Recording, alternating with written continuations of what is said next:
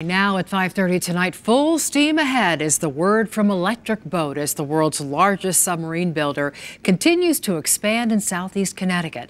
Channel 3 New London bureau chief Kevin Hogan is live with the mobile newsroom with what they're planning to do right now. Kevin?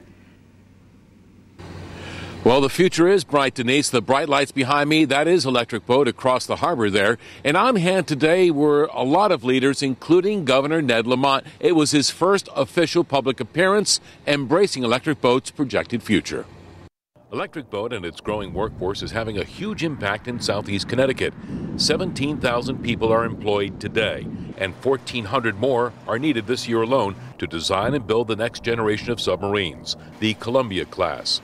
Today, in his first official visit as governor, Ned Lamont made a promise to the region's leaders. To make sure that you have the best trained, best educated, most inventive workforce in the world, to make sure you keep your qualitative advantage, and that's my number one obligation to do for you going forward. 14,000 have been hired since 2011, ramping up for the Virginia class subs. 17,000 today, and by the middle of the 2020s, EB will need thousands of skilled workers to build the world's stealthiest vessels for the Navy. It's really one of the most positive, uh, persistent uh, areas of growth in the state of Connecticut. 446 Connecticut companies alone are part of the electric boat supply chain, thus employing more people. Everyone is working well together.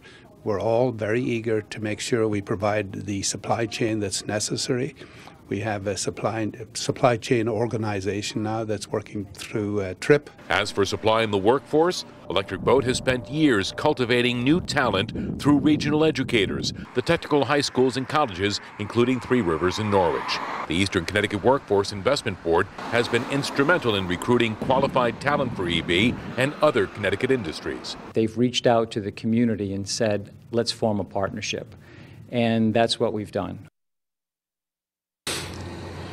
Now, to support that workforce, local lawmakers are working on more housing and the infrastructure of transportation. Live at the Mobile News in New London, Kevin Hogan, Channel 3, Eyewitness News.